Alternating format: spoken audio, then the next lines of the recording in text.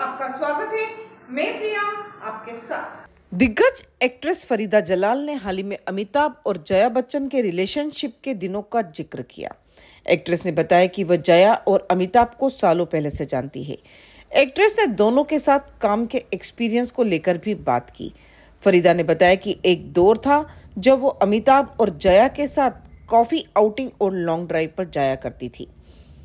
एक इंटरव्यू में फरीदा ने कहा कि अमित जी के साथ मेरा बहुत पुराना रिश्ता है और जया के साथ उससे भी पुराना। हमारे मन में आज भी एक दूसरे के लिए बहुत प्यार और सम्मान है। भले ही अब हम इतनी बार नहीं मिलते हैं, लेकिन इससे हमारे एक दूसरे के प्रति प्यार पर कोई असर नहीं पड़ा है। अमिताभ और जया के साथ बिताए पुराने पलों का ज़िक्र करते हुए फरीदा ने आगे कहा, उस समय हमारा एक बड़ा ग्रुप हुआ करता था। हम हमेशा मिलते रहते थे।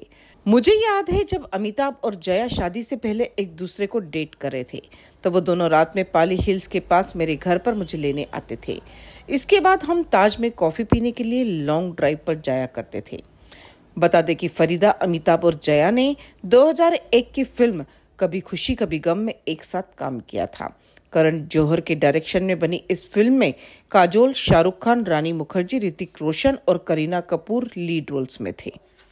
बाकी की तमाम खबरों के लिए बने रहिए राजनामा टीवी के साथ। धन्यवाद।